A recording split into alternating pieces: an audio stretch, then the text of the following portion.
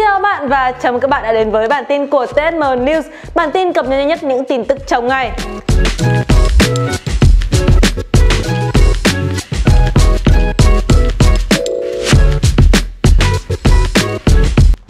Hơn 30.000 máy Mac bị nhiễm mã độc mới.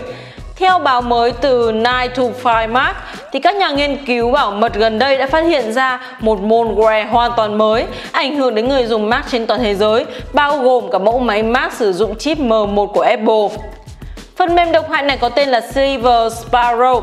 Sau khi bị nhiễm sẽ liên tục kết nối với máy chủ điều khiển để kiểm tra mỗi giờ một lần.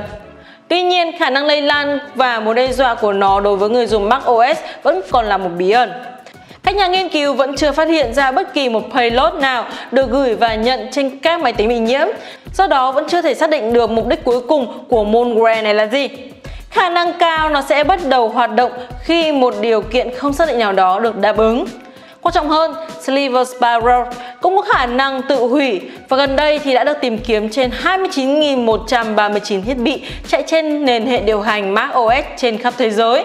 Và theo thống kê thì malware mới được tìm ra tại 153 quốc gia khác nhau, chủ yếu tập trung ở Mỹ, Anh, Canada và Pháp cũng như là Đức.